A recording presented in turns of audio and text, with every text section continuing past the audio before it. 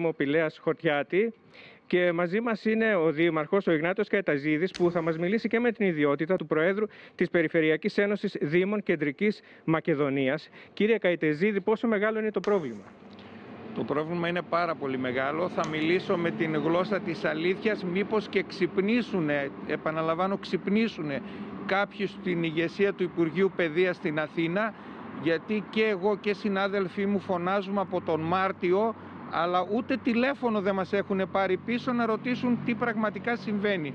Θα σας πω ότι έχω απευθυνθεί με προσωπική επιστολή στην κυρία Κεραμέως και στην κυρία Ζαχαράκη από τον Μάρτιο, την επανέλαβα και τον Ιούνιο, την επανέλαβα και το, στο, τον Ιούλιο, ούτε τηλέφωνο, ούτε απάντηση από καμία. Και θα σας πω ότι Ναι, γιατί το πολλοί ίδιο αναρωτιούνται ψήφισμα με καλά, έχουμε δεν τα πάρει ξέρετε και κι οι εσείς 38 από δήμοι. το πρώτο κύμα για να δράσετε, για να ζητήσετε συγκεκριμένα μέτρα. Πολλοί το ανα- αναρωτιούνται Ε, θα πάνω σας σε πω, αυτό. θα σ- Βεβαίως. Έχω στείλει επανειλημμένες επιστολές, δεν υπήρξε ούτε τηλέφωνο από το Υπουργείο και λυπάμαι που το λέω. Ε, ό,τι αφορά τώρα την μεταρρύθμιση με τη δίχρονη προσχολική υποχρεωτική εκπαίδευση, βάλαμε για μια ακόμη φορά στην πατρίδα μας ε, μπροστά τη- το κάρο και από πίσω το άλογο, ε, όπως γίνεται συνήθως. Και αυτό ξεκίνησε από την προηγούμενη κυβέρνηση και συνεχίζεται με την ίδια, χωρίς, από την καινούργια κυβέρνηση, χωρίς να φροντίσουν, να προνοήσουν για υποδομές, για το πού θα πάνε αυτά τα παιδάκια τα οποία θα, σε ηλικία 4 χρονών θα πάνε για πρώτη φορά στον υπηαγωγείο, αποφάσισαν ότι πρέπει να έχουμε δίχρονη υποχρεωτική προσχολική εκπαίδευση. Θα σας πω ότι η κατάσταση είναι τραγική σε αίθουσες. Ο Δήμος μας, ο Δήμος Πηλέας Χορτιάτη ήταν από τους Δήμους που μας είχε βάλει η προηγούμενη κυβέρνηση στο πιλωτικό πρόγραμμα ε, και επομένως το ζήσαμε τον προηγούμενο χρόνο. Από τότε ακούμε συνεχώς υποσχέσεις και από την προηγούμενη κυβέρνηση και από τη σημερινή Κύριε Καϊτεζίδη, αν για έχει την πρόβλημα το τοποθέτηση πανόραμα, οκτώ ποιε άλλες αιθουσών. περιοχές όμως έχουν πολύ μεγάλο πρόβλημα στην κεντρική Μακεδονία. Πείτε μας λίγο και περιοχές για να Δεν ξέρουμε. είναι μόνο το πανόραμα. Ο Δήμος, καταρχήν, Ναι, εντάξει. καταρχήν σας περιγράφω ότι ο Δήμος μας είναι Πηλέας Χορτιάτη. Ναι, γνωρίζουμε Το πανόραμα όλη την συγκεκριμένα περιοχή δεν έχει ευρύτερα. πρόγραμμα. Έχουμε στην Πηλαία, Ναι. έχουμε, ναι, έχουμε στο Σβεστοχώρι, έχουμε στο Φίλιρο. Στην εξοχή τα έχουμε θέσει τα προβλήματα αυτά εδώ. Ε, θα σας πω όμως ότι το ίδιο κάναμε και στην περιφέρεια Κεντρικής Μακεδονίας, στην οποία είμαι πρόεδρος, στους 38 Δήμους, τουλάχιστον οι 20 αναφέρθηκαν σε σημαντικά προβλήματα υποδομής και τα οποία Ε, είναι έχουν στους μεγάλος ο Δήμους τους. αριθμός. Και αυτά τα κοινοποιήσαμε στο Υπουργείο. Είναι μεγάλος ο αριθμός. Τι θα Ε, μπορούσε σας να πω γίνει και δεν ότι έγινε, Δήμαρχε. από- Γιατί στις τάξεις τώρα ξαφνικά από τη μια μέρα στην Και άλλη. να πούμε, Νίκο, και να ρωτήσουμε αν έχουν ζητήσει αναβολή της εφαρμογής της δίχρονης Πολύ υποχρεωτικής σωστό. προσχολικής Σωστά. εκπαίδευσης οι Δήμοι. Εμείς ζητήσαμε καταρχήν κατεπηγόντως να επανεξεταστεί το θέμα και ιδιαίτερα την εποχή του κορονοϊού που υπάρχουν και αυξημένες ε, υποχρεώσεις ό,τι αφορά τον αριθμό, τη χωρητικότητα στις αίθουσες, τις συνθήκες υγιεινής κτλ. να ανασταλεί το μέτρο. Δεν ακουστήκαμε.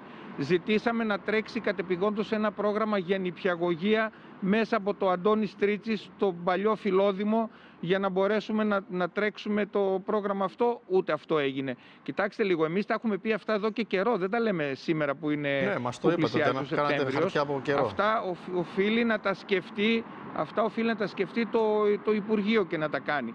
Θα σας πω ότι δεν έκανε τίποτα, ούτε αναστολή, έδωσε μόνο σε 5-6 δήμους σε όλη τη χώρα, αλλά το πρόβλημα είναι πολύ μεγάλο. Μάλιστα. Λυπάμαι να το πω, ε, προχωρά ένα πρόγραμμα με κύμπο και με παράγκες τέτοιου τύπου για να τοποθετήσουν στα σχολεία. Εγώ θα σας δώσω μία εικόνα. Φανταστείτε το τετράχρονο παιδί Ναι. να πηγαίνει στο σχολείο και η πρώτη του εικόνα από την εκπαίδευση να είναι παράγκες και κύμπο. Φανταστείτε το, καλά θα κάνει Καλά, να το αυτό το έχουν φανταστεί η ζήσει κυρία πολλές Κεραμέως γενιές, βέβαια. είναι αλήθεια. Ένα τετράχρονο παιδάκι, ε, ναι, είμαστε στο 2020. Αν θέλουμε να επιχειρηματολογούμε για τις προηγούμενες γενιές, καλώς. Όχι, Εγώ κύριε δεν Κατετζίδη, θέλω. ήσασταν Εγώ θέλω ένα σαφείς. σχολείο που θα τιμά την εκπαίδευση, έτσι Ναι, δεν είναι; ήσασταν σαφεί. Πριν κλείσουμε όμως, έχουμε Εγώ πάλι και πο- μόνο- πάρα και- πολλά ερωτήματα. Εγώ και μόνο, αν μου επιτρέπετε, Ναι. αν μου επιτρέπετε, αν μου επιτρέπετε, εγώ και μόνο σαν σκέψη το παιδί να το βάζουμε τέσσερα χρονών στο κύμπο, ανατριχιάζω. Μάλιστα. Ας το σκεφτούν κι άλλοι. Ωραία, πριν κλείσουμε όμως, γιατί έχουμε πάρα πολλά ερωτήματα, ένα, ένα τελευταίο σχόλιο ως πρόεδρος της ΠΕΤ. Ε, σχετικά με τα βάουτσερ, οι βρεφονιπιακοί θα ανοίξουν, θα λειτουργήσουν από 1η Σεπτέμβρη. Ε, έμειναν πάρα πολλές οικογένειες εκτός.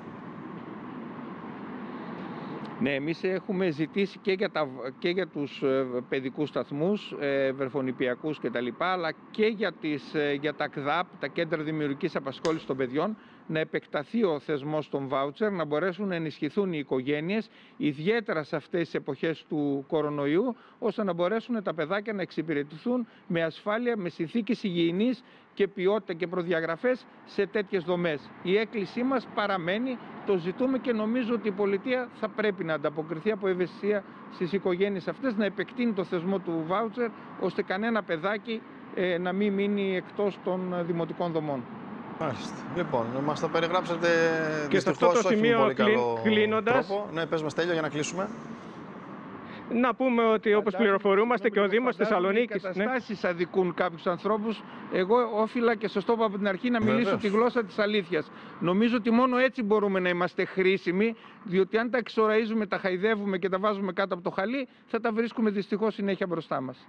Και αυτό που ήθελα να πω, ευχαριστώντας και τον κύριο Καϊτεζίδη, είναι ότι όπως πληροφορούμαστε και ο Δήμος Θεσσαλονίκης έχει αιτηθεί την αναβολή της εφαρμογής της υποχρεωτικής προσχολικής εκπαίδευσης. Λόγω Μάλιστα, έλλειψη αιθουσών Στέλιο. βέβαια και η γραφειοκρατική διαδικασία ε, τραβάει σε μάκρος. Για να δούμε τι θα γίνει, αν υπάρχει λίγος χρόνος. Άρα, ίσως υπάρχουν κάποιες απαντήσεις στο επόμενο διάστημα για να δούμε γιατί η σχολική χρονιά ακόμα δεν άνοιξε. Δεν ξέρουμε τελικά πότε θα ανοίξει. Οπότε, ίσως ληφθούν στο μεσοδιάστημα κάποιες απαντήσεις αν αυτές